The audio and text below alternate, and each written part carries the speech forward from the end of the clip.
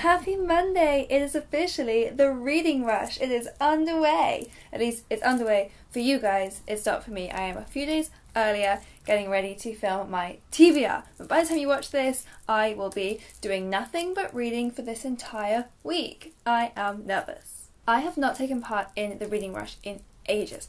So the last time I did it was back in 2017 when it was still called Booktubeathon and it was the same week that year as what was it called? Um, the biannual Bibliothon, which no longer exists, but that was another readathon I absolutely loved. So I did both of them that week. I was so committed. I tried to get all of the challenges from both readathons.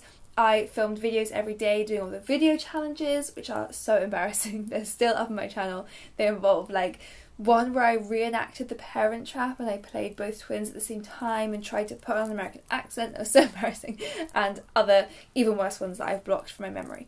But finally, three years after that, I am back ready to take part in this readathon, daily vlogging, just as much energy as I gave it three years ago, though hopefully a bit less cringe. There are seven prompts for the reading rush, and I am planning to try and read seven books, though I don't know how I think I'm going to do that because I've picked like pretty long books for a lot of these, and also I am not on holiday. Like last time I did it, I was on holiday, so I had all day every day to read. This time I am working full time. Someone just said some really loud building work outside the window. It's so annoying. Could you stop?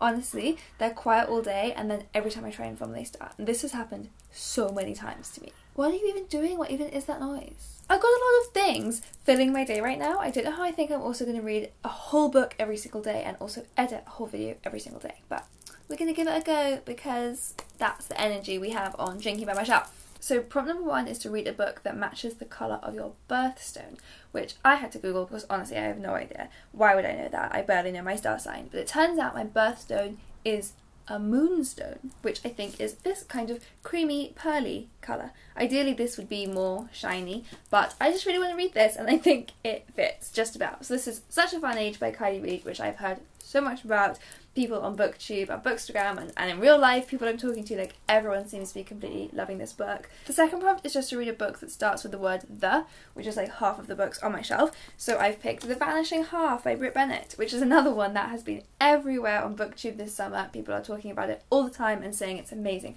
I've heard so many people put this in their like favorite books of the year so far and also just favorite books of all time. So very, very high hopes for this one. It's another big, chunky hardback. I'm not making life easy for myself, but it's gorgeous and beautiful. And it's apparently a retelling of the book Passing by Nella Larsen, which I studied at university and really enjoyed. And I also really enjoyed Boy Snow Bird by Helen Oyeyemi, which is another retelling of Passing. So it's going to be along that theme, I believe. Prompt number three a book that inspired a movie you've already seen.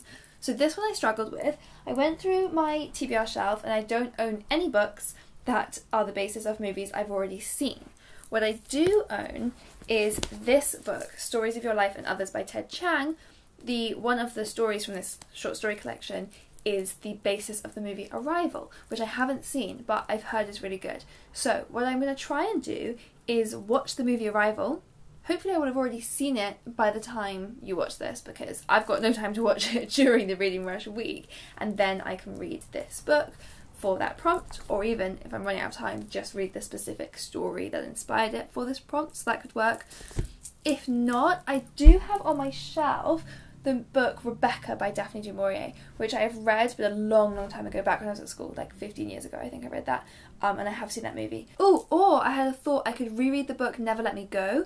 So that is a book by Kazuo Ishiguro, which I absolutely loved when I read it fuck, 10 full years ago. It was the book that I was sent right before I started university, and I absolutely loved it. One of my favourite books ever, but I haven't reread it since then, but I have seen the movie. So that could work if I want a reread. I have a few options, but I am going to aim for this one because I'm interested in watching the movie Arrival, and this book is so pretty, and I often struggle with short stories, but I've heard that Ted Chiang is just amazing, and this is like speculative stories rather than full sci-fi stories, which is like exactly my favourite little niche. So yeah, that's what I'm aiming for. Problem number four is just to read the first book you touch. And they said that this is like open to interpretation of what that would mean for you. So initially I was like, on Monday morning I will just walk in here with my eyes shut and touch the trolley, stop with the building work and see what's the first book I touch. And that is what I'm going to do. But I am going to aim with my eyes shut to touch my Dark Vanessa. I promise not to literally just put it on the end and cheat and know exactly what it is. Like I'll put it in the middle and then try and get the right one. Um, because I really want to read this one this month. It was the book that my patrons voted for me to read, so I have to read it this month. Um, so reading it during the Reading Rush week makes sense. So that'll be the first thing I guess that I'll film on Monday morning, which is today for you, but you'll see it tomorrow when the video goes up. Is me coming in here with my eyes shut and trying, hoping I pick up this book and not one of the other ones next to it, which I don't want to read. Prompt five is to read a book completely outside your house. So I picked the smallest one on my TBR shelf for this. This is The Harpy by Megan Hunter, which I am really excited to read. I loved Megan Hunter's last book, and I've heard this is very weird and wonderful. So I'm going to try and read this every time we go for a dog walk on our lunch break. I'm going to bring this with me, read it walking around, go and sit in the garden for a bit, maybe like while Arjie's gardening, I could go and like help him one-handed planting and read with the other. We'll make that work. Prompt six is to read a book in a genre you've always wanted to read more of. So for this one, I've got The Psychology of Time Travel by Kate Mascarenhas.